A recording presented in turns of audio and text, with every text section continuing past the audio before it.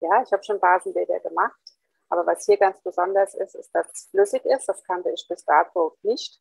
Und die pflegenden Inhaltsstoffe geben mir ein besseres Gefühl für meine Haut. Meine Haut ist zart, ist weich, fühlt sich wie gecremt an. Das kenne ich von früher nicht, sondern aus den früheren Badenbädern bin ich oft raus, dass die Haut kribbelte, dass die Haut trocken war und ich nachträglich cremen musste. Und das muss ich hier jetzt überhaupt nicht mehr.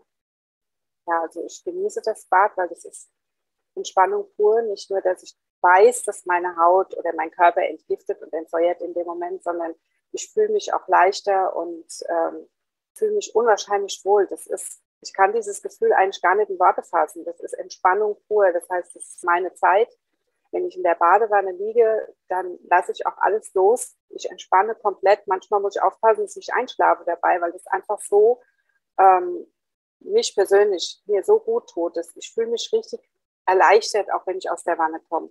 Aber auch vom Gefühl her, also nicht nur vom Körpergefühl, sondern wirklich vom, vom seelischen Gefühl her. Es ist einfach, es ist ein Wahnsinn. Ich kann das gar nicht in Worte fassen. Ich genieße diese Zeit, weil das mir wirklich hilft, für mich einfach runterzufahren und ähm, so ganz bei mir zu sein. Also schon nach der dritten Anwendung ähm, habe ich ein, ein großes Problem verloren, das ich seit vielen Jahren habe. Ich habe eine juckende Stelle am Rücken gehabt, die mich wirklich gequält hat. Das heißt, ich habe mich da auch schon wund gekratzt. Das ist völlig weg. Und als ich das so realisiert habe, dass ich mich tagsüber nicht mehr kratze, wurde ich mutig und habe mich komplett eingetaucht ins Wasser, weil ich habe mit meiner Kopfhaut Probleme durch trockene Kopfhaut, die juckt und im rechten Ohr durch ein so wie der Hals-Nasen-Ohrenarzt mal sagte, trockenes Ekzem. Das hat so extrem gejuckt, dass ich immer und überall auch mit Ohrenstäbchen unterwegs war, mir auch mal das Trommelfell zerstört habe bei diesem Spaß. Und auch das ist, seit ich das Bad regelmäßig mache und da komplett eintauche, weg. Und was ich richtig schön finde, ist, ich tauche also wirklich so weit ein, dass nur noch die Nase rausguckt, damit ich atmen kann. Und dadurch hat sich auch meine Gesichtshaut ist noch viel zarter geworden, als sie vorher schon war. Ich habe eine sehr gut gepflegte Haut, aber das ist fast unglaublich, wie steigerungsfähig das ist, die Veränderung der Haut, das Hautbild und das Gefühl der Haut durch das Bad.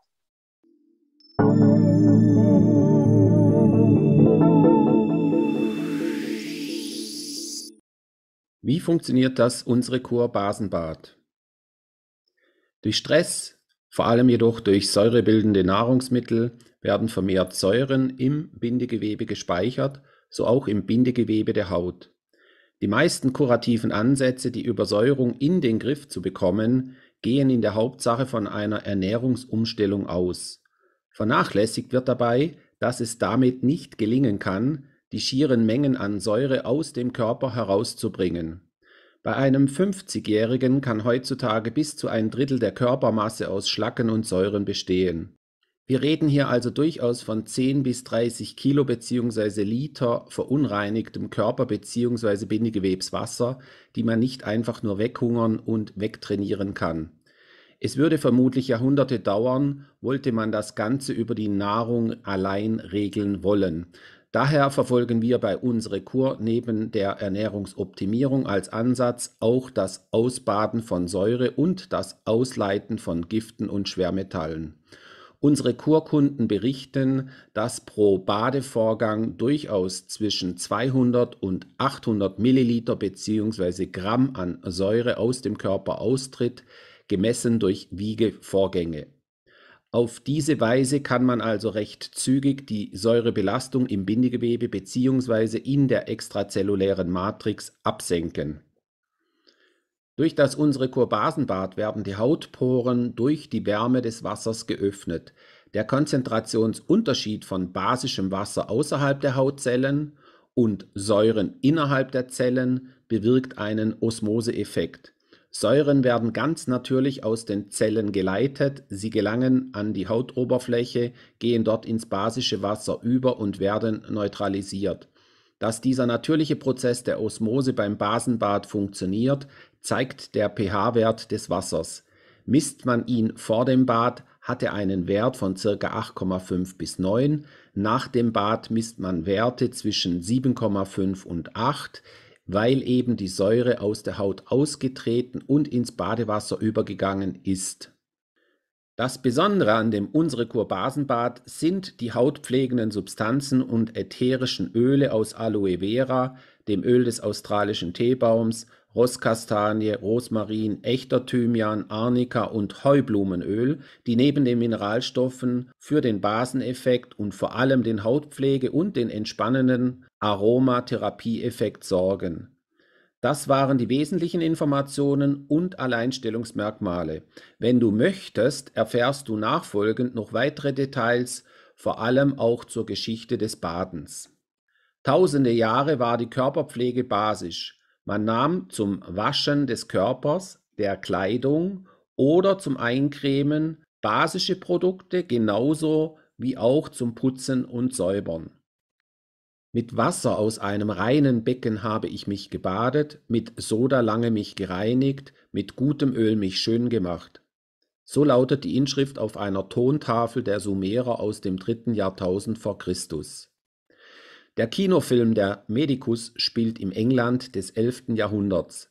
Dort ist gleich zu Beginn die Rede von dem fahrenden Bader, dem sich der kleine Waisenjunge Rob Cole anschließt.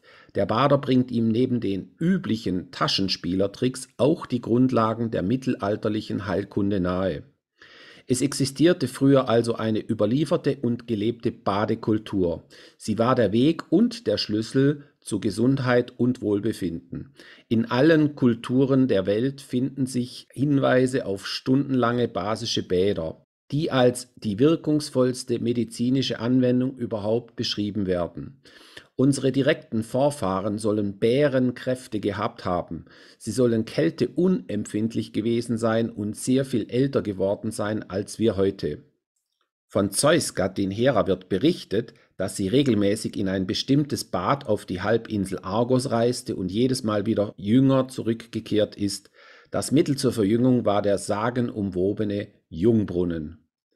Vor 2000 Jahren erlangte dann ein Bader Weltberühmtheit. Es war Johannes der Täufer. Er benutzte basische Bäder für die ursprüngliche Taufe, die mit der heutigen Taufe nichts mehr gemeinsam hat. Durch die körperliche Reinheit der Bäder klärte sich auch der Geist. Zu Zeiten von Jesus Christus gehörte das Baden zur Kultur der Kelten und Germanen und sorgte für deren Widerstandsfähigkeit. Sie badeten zehn bis zwölf Stunden am Tag für drei bis vier Wochen. Mitunter blieben sie sogar zwei bis drei Wochen lang ständig im Wasser, je nach Indikation und Behandlungsplan des Baders. Es war eine effektive und noch dazu angenehme und bequeme Art des Heilens und Verjüngens. Die starke Anziehungskraft der Bäder begründete den Mythos vom Jungbrunnen.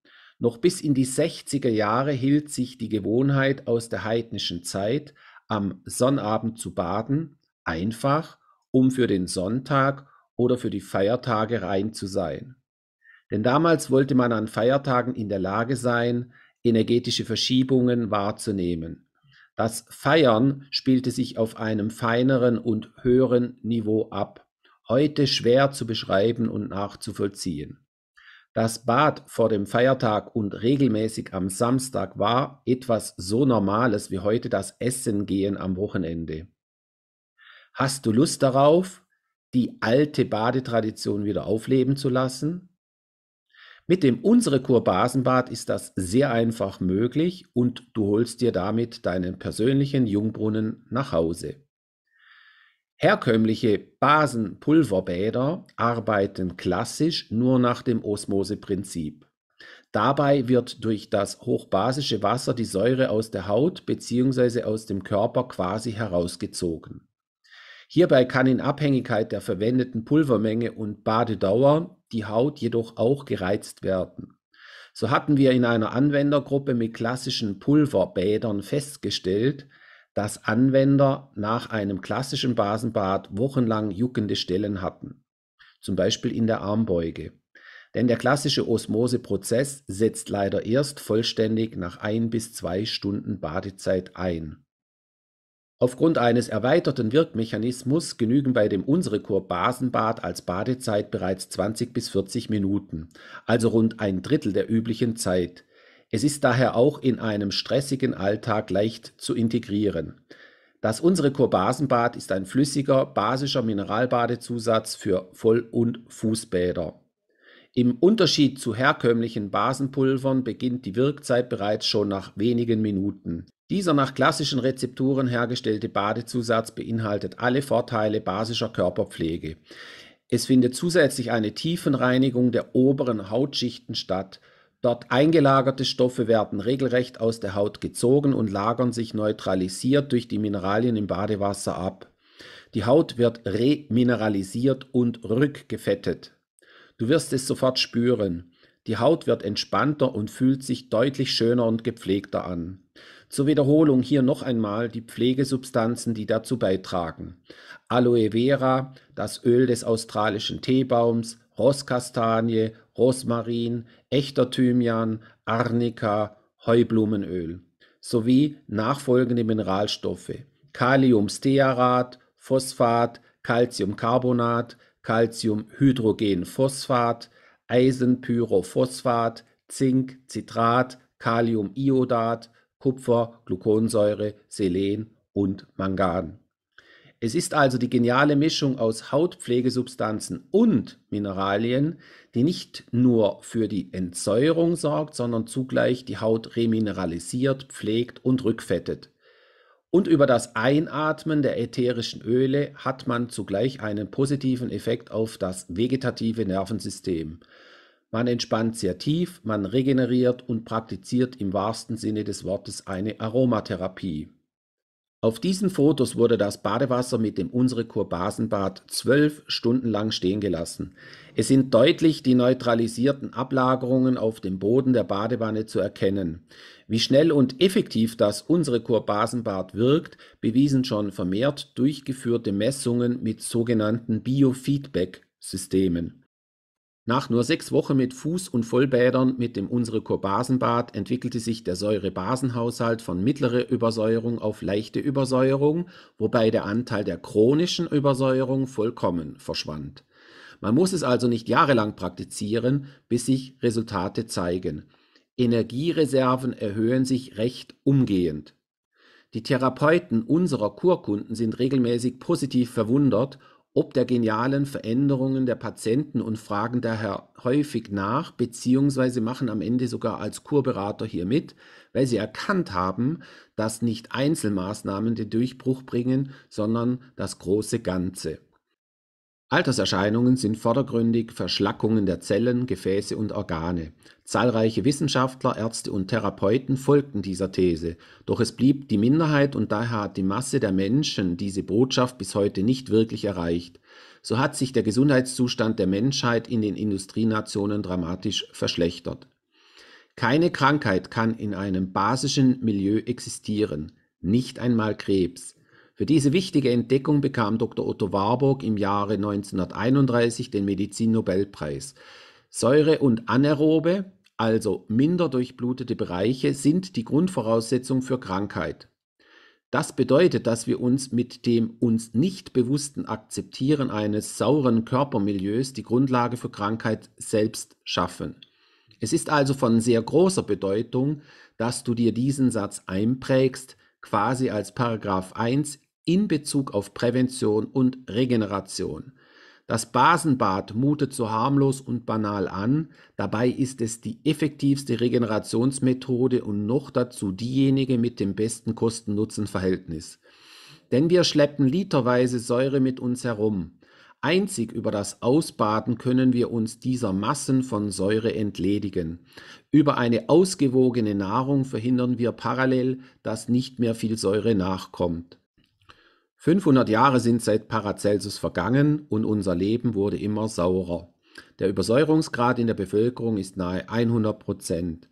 Anzeichen für eine hohe Säurelast machen sich meistens im stressigen mittleren Alter so um die 40 bemerkbar. Ein gereizter Magen mit saurem Aufstoßen oder Sodbrennen, Muskelverspannungen, Konzentrationsstörungen, Reizbarkeit, Schlafstörungen, häufige Müdigkeit, Kopfschmerzen, Gelenkschmerzen, Nieren- oder Gallensteine, Blutgefäßverengungen, Verstopfungen, Bluthochdruck, Herzinfarkt, Schlaganfall und so weiter. Gerade im mittleren Alter, so um die 40 oder 50, strebt man zunehmend und zu Recht hin zu mehr Lebensqualität und Vitalität. Hierbei ist wichtig zu wissen, wir können immer etwas dafür tun. Unterstütze deinen Körper bei seiner Regeneration und sorge künftig dafür, dass jede einzelne Zelle störungsfrei arbeiten kann. Wenn du bis ins hohe Alter schön, fit und vital bleiben oder werden möchtest, dann sind basische Bäder ein absolutes Muss. Eine dreimonatige Badekur wird wahre Wunder tun. Mache zweimal in der Woche ein Vollbad, wenn es geht. Wenn nicht, stattdessen so häufig es geht ein Fußbad.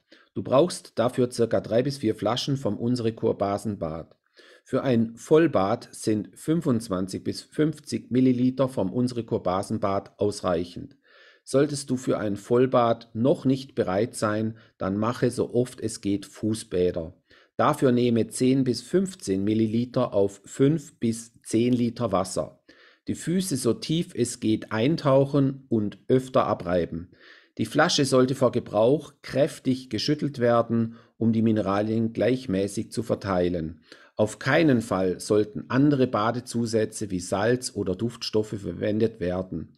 Die Badedauer richtet sich nach dem eigenen Wohlgefühl, sollte jedoch nicht länger als eine Stunde dauern. 30 bis 45 Minuten bei einer optimalen Wassertemperatur um 37 Grad wären ausreichend. Achte darauf, dass möglichst alle Körperstellen vom Wasser bedeckt sind. Für die Bereiche Hals, Dekolleté und Brust kannst du dir ein dünnes Handtuch auflegen, das immer wieder mit dem warmen Badewasser getränkt wird. Höre aber bitte auf deinen Körper und bade nur so warm und so lange, wie es angenehm ist. Alle 10 Minuten sollte die Haut mit einem Lufferschwamm oder einer Massagebürste abgerieben werden. Dadurch verstärkt sich die basische Tiefenreinigung.